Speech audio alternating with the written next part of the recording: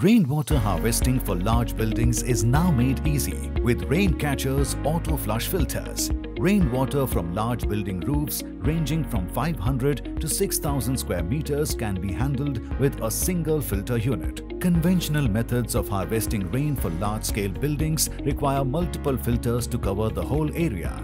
Raincatcher's smart design works on gravity and automatically flushes out suspended particles. Raincatcher's filters solve space-constraint issues and cut down the need to maintain multiple smaller filters. The filter setup is simple, requiring only three connections, the rainwater inlet, the filtered water outlet, and the drain outlet.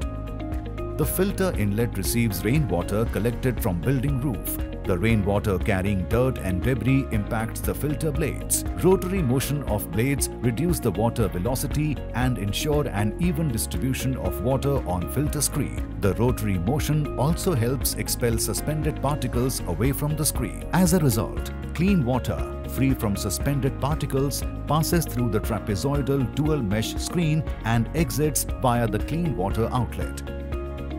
Raincatcher's filters operate based on the physical phenomenon of adhesion and the rotary motion of the blades. Adhesion enhances the filtration process by separating water from impurities. Meanwhile, the rotary motion actively ejects dirt and debris towards the drain outlet while ensuring rainwater is evenly splashed onto the filter screen. The filtered water can be diverted into storage tanks recharge wells or open wells through the clean water outlet. Raincatchers filters offer clog-free and auto flush-out mechanism for large-scale buildings including industrial sheds, institutions, apartments and commercial spaces.